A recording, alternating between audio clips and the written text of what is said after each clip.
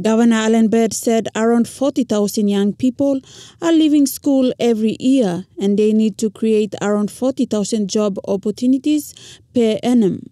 Unfortunately, this is not happening and they have to find a solution to that. Even then, the issue of jobs was coming up. I think that was 2014, 2015.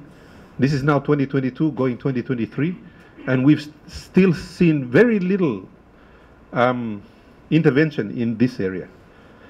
40,000 a year, if you go back and multiply it by the last 10 years, that's already 400,000 people, young people, sitting there in the queue with no work. That's a time bomb.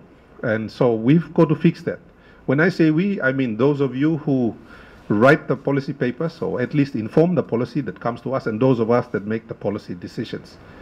If we don't, and we're already seeing um, some of the symptoms, if you like, there's fighting everywhere. Governor Bird also believes that just a degree is not enough. They need skills that go with it to serve the country for positive changes to take place. He encouraged the graduates to continuously improve and not just improving in big things, but to pay attention to details to make a difference in the outcome. How appetizing you can be as an employee or as a manager or whatever it is you become in life, your attractiveness as an individual depends on how many skills you add to yourself. I see when Papua New Guineans do what you are doing now, that you are submitting yourself to a process of continuous improvement.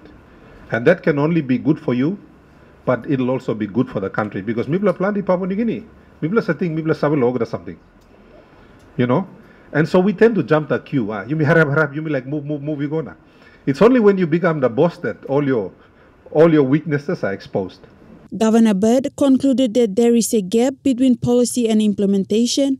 Therefore, he wants to help build the PNG National Research Institute so that more people are trained on basic skills in terms of policy analysis and policy advice. Esther Gane, National EMTV News.